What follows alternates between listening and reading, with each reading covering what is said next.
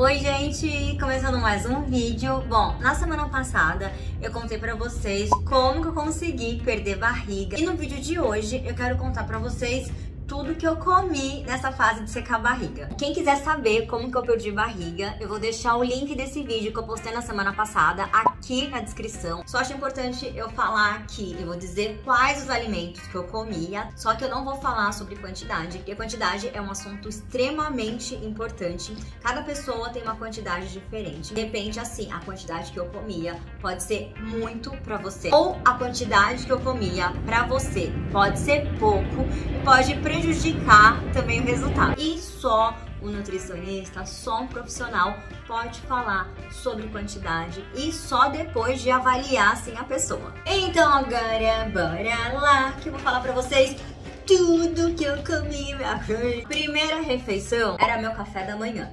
8 e meia da manhã. Caramba, minha rotina era totalmente diferente. Hoje eu acordo muito mais cedo, tá? Bora lá falar da o que que eu comia. Clara de ovo, batata doce, mamão chia. Eu lembro que nessa época, como tinha a clara do ovo e como tinha a batata doce, eu lembro que eu fazia uma panqueca de batata doce. Então eu pegava a clara, a batata doce, batata doce já cozida, amassava, colocava ali na frigideira e já virava minha panqueca de batata doce. Aí depois tinha a minha próxima refeição, às 10 da manhã. E aí tinha o iogurte desnatado, chia e tinha uma fruta. Eu podia escolher, tá? Se eu queria abacate ou se eu queria banana ou se eu queria uma maçã. Caraca, gente, faz mais de 5 anos que eu não vejo esse papel. Caraca, é até engraçado eu ficar vendo, ver como mudou meus horários, como mudou tudo. Certo! Aí tinha meio-dia e 30,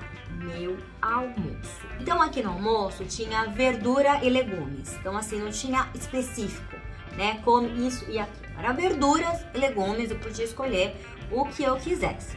E aí tinha azeite e limão. Então, provavelmente esse azeite com limão era para temperar uma saladinha. Só pode ser isso. Aí tinha os carboidratos. Eu podia escolher se eu queria comer o arroz integral, ou macarrão integral, ou batata doce, ou mandioca ou mandioquinha. Qualquer um desses eu podia escolher. E aí tinha a proteína, que eu podia escolher um frango, filé de alcatra, ou São Peter, ou tilápia. Aí, às 15 horas, tínhamos outra refeição. Então tinha o iogurte desnatado, e aí tinha também chia e a fruta que eu podia escolher, abacate, banana ou a maçã, igual o lanchinho da manhã. Aí depois era 7 horas da noite, salada e legumes. Aí aqui tem os legumes específicos.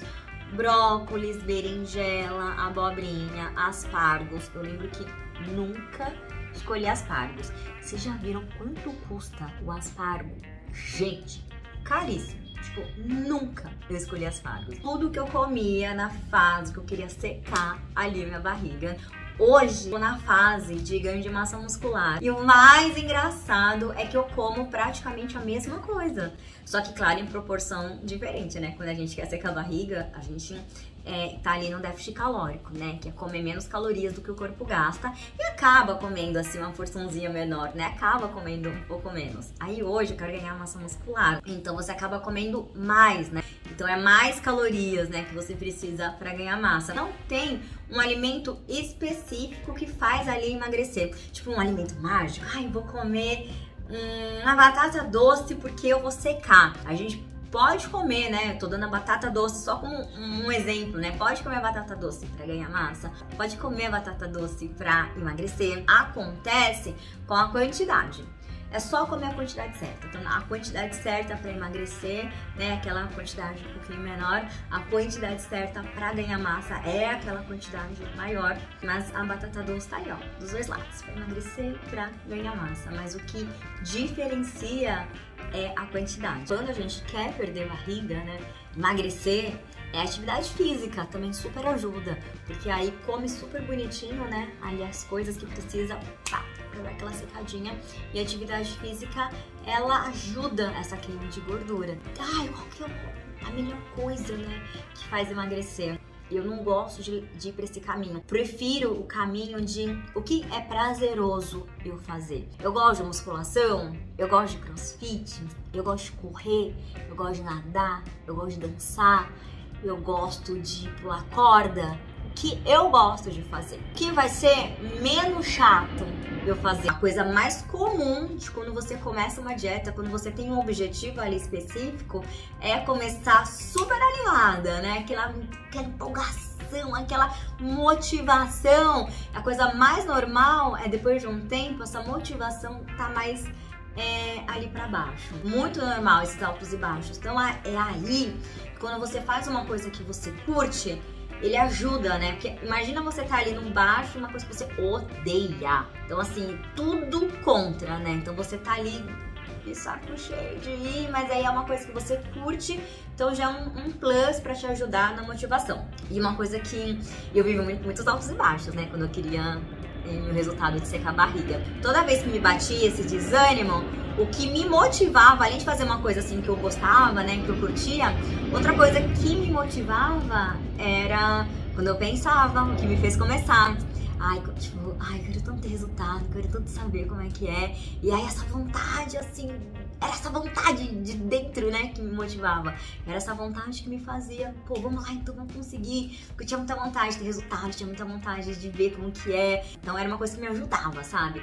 A vontade de querer conquistar o objetivo. Era isso sempre me ajudou quando batia esses baixos, assim. É, quando eu nos altos, animada, e tudo, tudo é maravilhoso, né? Continua fazendo tudo certo. Continua que o resultado vem. Eu já falei pra vocês que o meu resultado demorou oito meses. E eu, eu fiquei muito frustrada, né? Ficava saco cheio. Caramba, procurei nutricionista, tô seguindo dieta, tô treinando, tô fazendo tudo certo e não tô tendo resultado. Só que ao mesmo tempo que me batia isso, eu pensava, ah, eu não vou desistir, porque se eu desistir, nunca vou saber como é que é. A única coisa, a certeza é continua e não desistir, porque o estado vem. Quando vem é super gostoso, a gente se sente bem, a gente ganha autoestima e aí a gente fica animada. Bom, gente, então é isso. Hoje eu queria muito contar pra vocês é, os alimentos que eu comia, né? Tudo que eu comia, assim, na minha fase de secar a barriga. Eu espero muito que vocês tenham gostado.